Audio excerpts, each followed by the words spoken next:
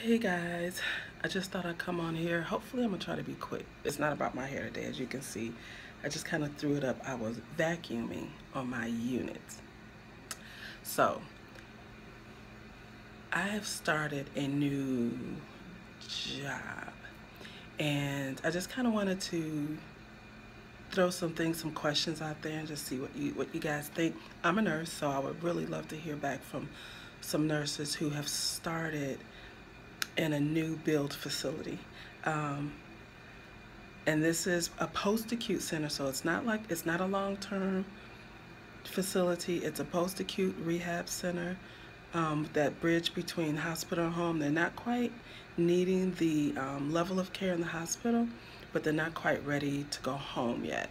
So they, you know, hip replacements or knee replacements where you're gonna have to have like three days uh, physical therapy three days a week and if you live by yourself and you get discharged from the hospital and go home now you have to figure out how you're going to get to physical therapy three times a week cook for yourself you know just all those things. So we're kind of our center is kind of that bridge.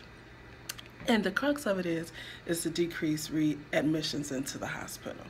Um, so here they'll get their intense re rehab um, they'll get their diets the way that they're supposed to get it make sure that you know we're not and just to be observed just you know another three to 15 days just to make sure that they're healing okay that things are going well if they have any um, wounds that need to be tended to that we would do that. Um, so that's what we're offering here and it's a 70 bed post-acute center. Um, we also have on the second level an assistant living center with assistant living apartments up there. But that I won't be um, if you know anything about assisted living I won't be up there. That's a whole different entity. But um, my I'm used to working. I'm used to coming into a job getting my orientation and, and hit the floor running.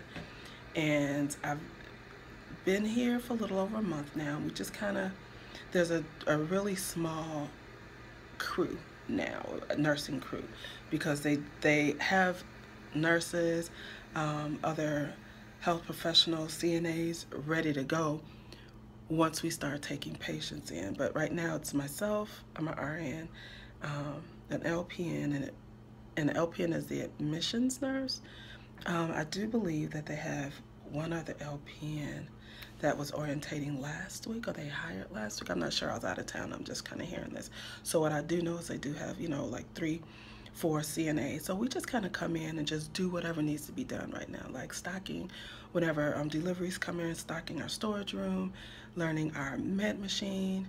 Um, the CNAs have been um, kind of working with the lift systems, which uh, we have a Hoyer lift and then a, a sit to stand lift.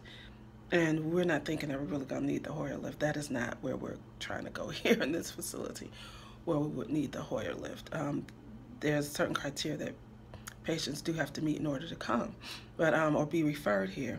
And we're hoping that we don't have to use the Hoyer lift. Um, but you know, things like that. So the reason we don't have any, some of them have been here since August, just kind of finding things to do. So I do want to say this is that kudos to the company that it's not our fault that we haven't started accepting patients yet. So they're allowing allowing us to come in and get our hours, and everybody's been very um, responsible with that. There's a lot of downtime, but yet we are all doing things that need to be done outside of our scope of practice. And um, whether it is, like I said, I was vacuuming floors on my unit, um, going in, sweeping rooms, um, flushing toilets because you know the water stands if this stuff isn't being used the water kind of turns I'm in my area the water kind of turns a yellowish. So just doing things like that.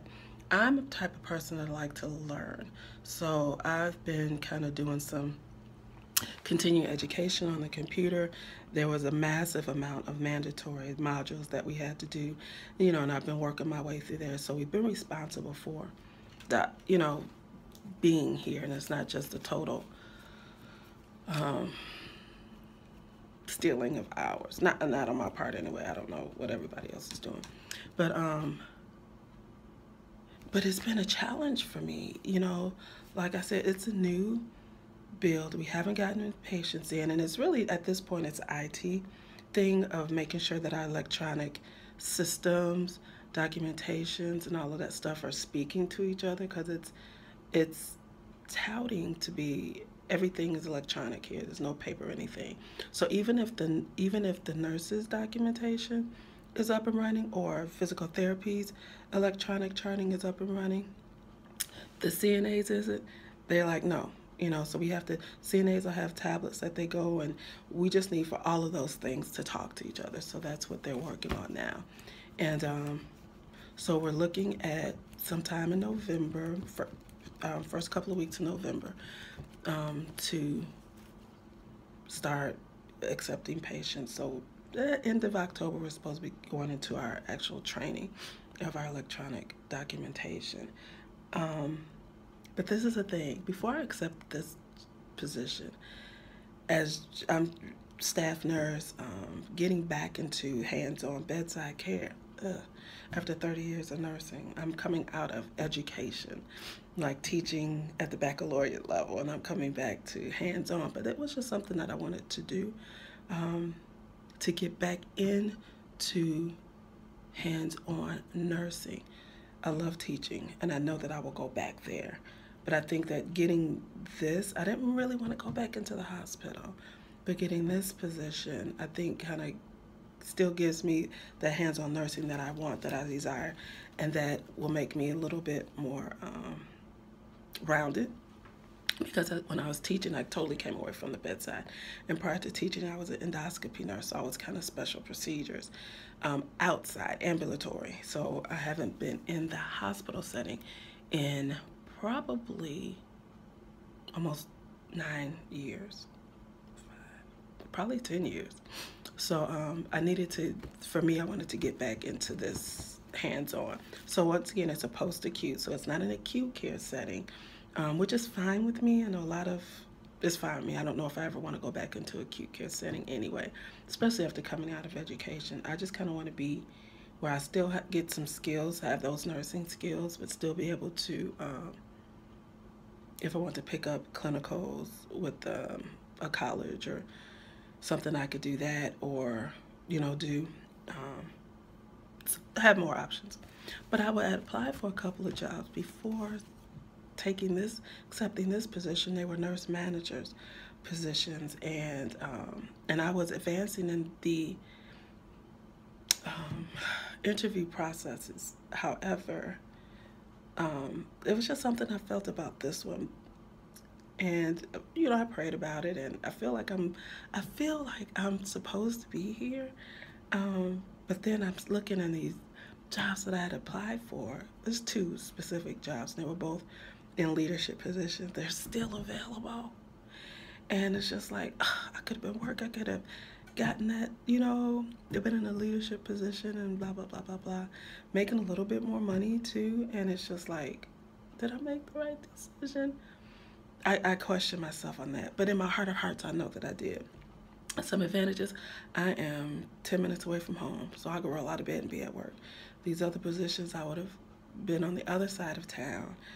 Traffic, at least 45 minutes to get to work. Um, and probably longer to get home from work. So in that vein, when I look at that, you know, I wanted a work-life balance.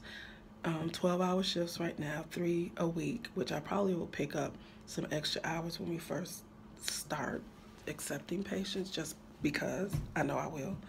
Um, but I think that there's so much room here for advancement. But there's a, a caveat to that, and that is that you know, people higher up, they tend to bring in people that they've worked with before. And there is um, rela relationship webs here. You know, a lot of friends and family. So, um,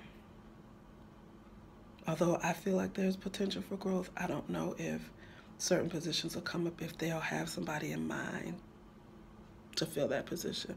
So I've been proactive. I've been talking to the CNO and just telling her what things that I would like to do. So let me back up. I have a master's in nursing. So um, there's things, there's positions that will come op available that I will be um, eligible for because of experience and knowledge and education. So I just kind of put that on the table with her, and um, and which is why I'm doing these um, continuing education, just to stay abreast on things, just so that even here, I'm making myself marketable within where I am with this new build.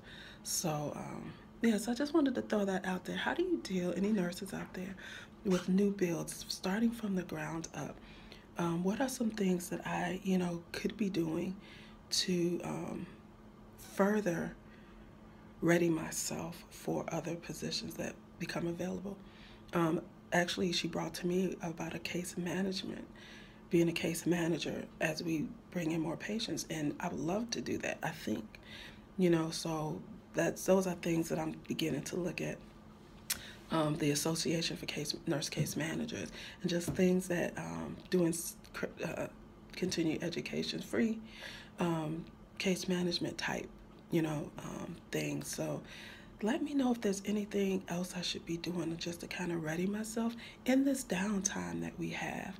So, you know, that's another two weeks just so that I can just be preparing myself readying myself, positioning myself for to be further, a further, um, more of an asset for them. So let me know. All right. Talk to you later. Thanks for listening.